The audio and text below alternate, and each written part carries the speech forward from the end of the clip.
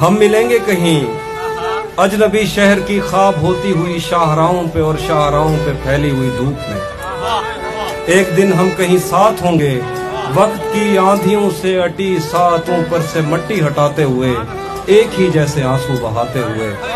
हम मिलेंगे कहीं, बाग में, गाँव में, धूप में, छाव में, रेत में, दश्त में, शहर में, मस्जिदों में कलीसों में, मंदिर में, मेहराब में, चर्च में मूसलाधार बारिश में, बाज़ार में, खाब में, आग में, गहरे पानी में, गलियों में, जंगल में और आसमानों में।